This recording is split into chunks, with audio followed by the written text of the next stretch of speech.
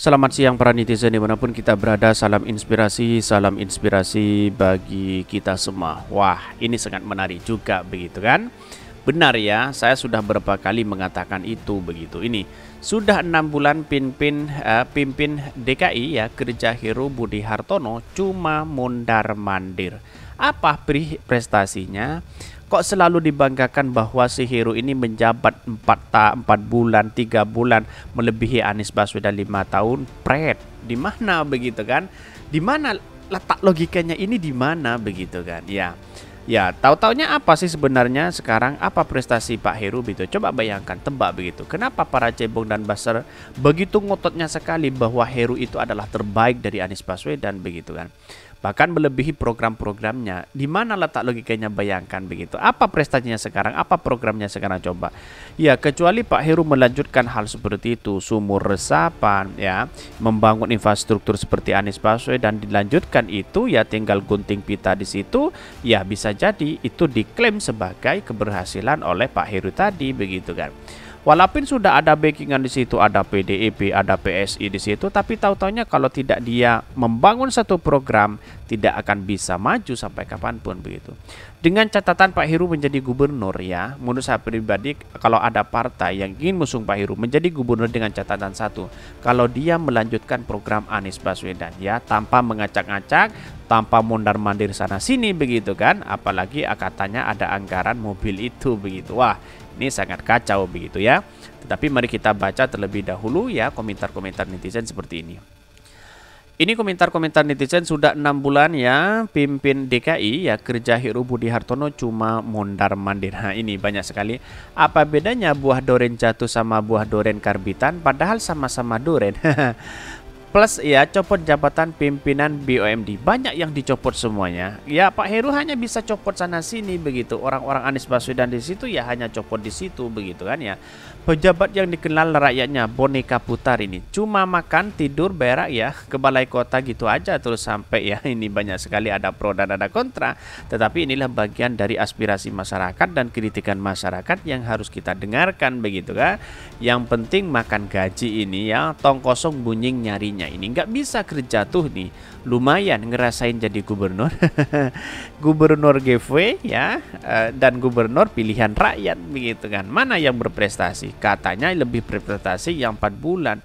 Empat bulan bayangkan paling cuma pindahan sana sini sudah satu bulan. Tiga bulan ya kerja di mana? Programnya mau apa? Begitu kan. Jadi bukan ini bukan memimpin desa tapi memimpin skala wilayah begitu kan.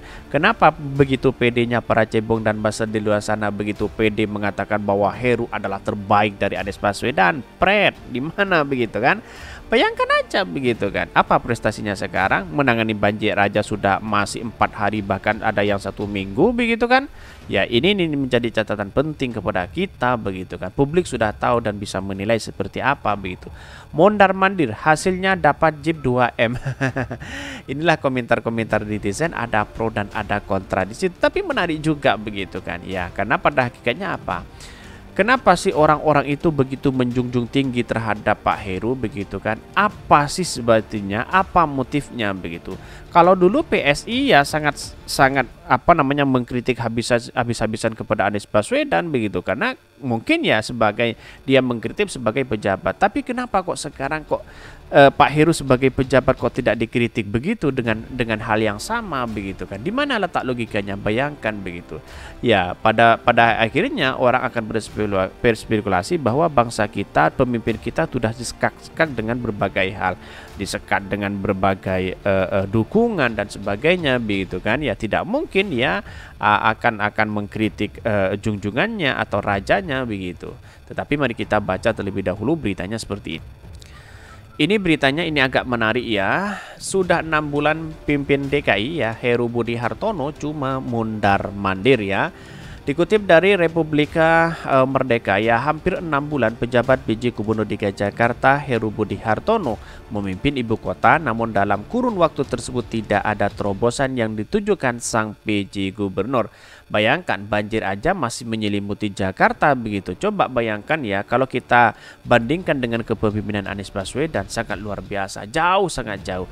Anies Baswedan ya satu jam 20 jam surut banjir itu begitu. Ketika Pak Heru ada empat hampir empat bu empat eh, apa namanya empat hari, lima hari dan sebagainya begitu kan ya. Di mana? Coba bayangkan itu. Demikian pandangan koordinator jaringan warga kota Jakarta Jaga Kota ya, Lis Sugianto melalui keterangan yang diterima oleh kantor berita RMOL Jakarta ya. Kondisi ini berbeda saat DKI ya dipimpin oleh Anies Baswedan selama lima tahun Jakarta mampu tampil sebagai kota kolaboratif yang mengutamakan kepentingan kesejahteraan dan keselamatan warga. Anies mampu menjelaskan kepemimpinan secara orkestrasi kata Antos. Sapaan Lis Sugianto itu Bahkan mulai dari pengalaman banjir, kemacetan, ya polusi, ya pendidikan dan kesehatan, infrastruktur sampai kesejahteraan lansia dijadikan program mendasar, mendesak dan semua warga DKI bisa merasakan manfaatnya itu. Sementara itu bersama Heru Budi Hartono warga Jakarta tidak menerima manfaat apa pun begitu karena PJ Gubernur ya sama sekali tidak memiliki terobosan dalam memimpin ibu kota. Ini juga dirasakan begitu. Artinya dari warganya sendiri sudah dirasakan bagaimana dengan orang lain. Kan begitu logika kita begitu. Artinya apa? Artinya ya kepemimpinan Pak Heru selama ini tidak punya terobosan dan program-program yang ada. Yang hanya apa? Klaim klaim sana sini karena diperbaiki di klaim sana sini begitu kan ya? Tahu taunya itu adalah program Anies Baswedan. Lucu sekali para cebong dan buzzer begitu. Kok begitu ngototnya bahwa itu lebih baik daripada Pak Anies begitu kan? Di mana letak logikanya ya wajar karena memang logika-logika seperti itu ya para cebong dan buzzer ya seperti itu logikanya begitu kan ya? Enam bulan kami dipimpin oleh orang-orang yang ditunjuk bukan pilihan warga dan hanya bekerja mundar mandir. ya ke sana kemari tanpa ada hasil kerja yang jelas. Anto menambahkan sebelumnya soal penanganan banjir, sejumlah pihak membangga-banggakan soal normalisasi sesuai dengan di blown up ya sebagai berlanjut ya program Presiden Jokowi bahkan program Anies soal rumo sumur resapan dirusak. Bahkan nyatanya ya titik banjir di Jakarta malah bertambah pada waktu surutan lebih lama ketimbang zaman Anies Baswedan menjadi gubernur DKI Jakarta. Akhirnya, sumur resapan Anies dilanjutkan gubernur kok miskin konsep tegas Anto. Bahkan ya, untung saja di sektor lain Heru masih terbantu ya oleh program-program peninggalan Anies. Ditambah lagi sampai sejauh ini Heru masih dampingi ya oleh kepala dinas yang menjadi anak mas saat Anies Baswedan menjadi gubernur DKI.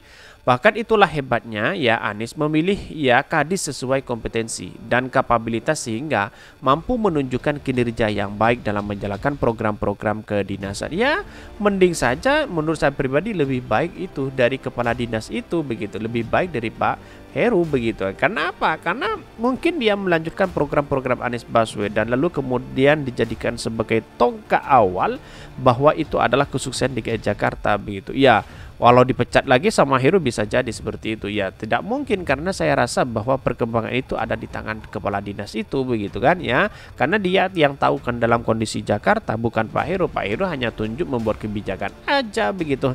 Yang kerja pada dina, kepala dinasnya itu begitu kan ya. Inilah yang kemudian Anies Baswedan memilih kriteria yang pas ya untuk membangun uh, apa namanya uh, uh, DKI Jakarta itu sendiri. Tapi wallahu alam ya.